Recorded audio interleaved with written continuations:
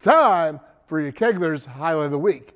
This past summer, I went with Coach Bob Huggins down to the resort at Glade Springs for the Little General Golf Tournament, where we were shooting my new reality show about West Virginia called Getting Real in West Virginia, where we showcase the best of West Virginia. I sat down with Coach Huggins, and here's an excerpt from it. It's a little bit of a call to action for the West Virginians, Mountaineers, and all about the old cancer situation.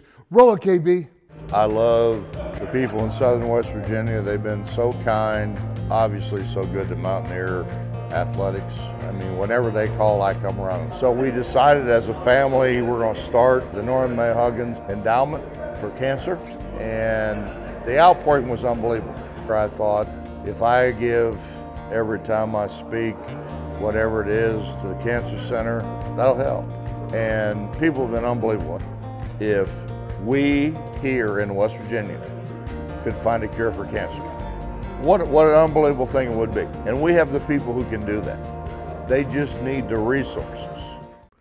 So the Bob Huggins Fish Fry is this weekend. If you weren't able to get a ticket, weren't able to attend, or watch it live and make a donation, it's still not too late. You can still make a donation to the Norma Mae Huggins Research Cancer Endowment Fund. All you have to do is go to www.wvucancer.org backslash fish fry and make that donation. You saw that coach calling everybody out, including myself, and I'm making a donation, baby. You can guarantee and count on that.